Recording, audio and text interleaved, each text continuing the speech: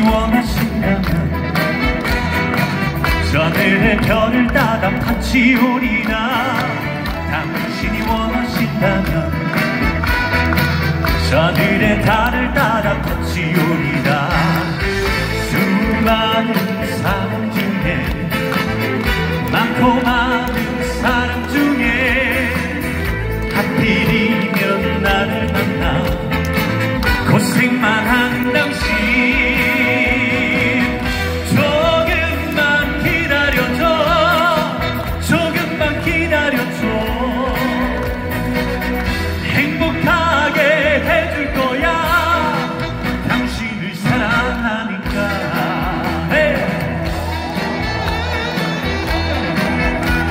뒤에 계신 분들은 박수를 안 치는 것 같은데. 뒤에까지 한번 함성 소리 질러볼까요? 자 인천에 계신 여기 모든 분들 함성 소리 질러! 당신이 원하신다면 내 마음의 별을 따라 오리라. 당신이 원하신다면 내 마음의 달을 따라 오리라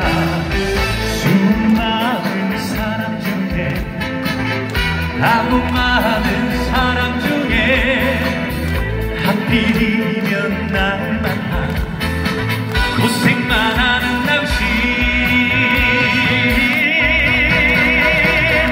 조금만 기다려줘. 조금만 기다려줘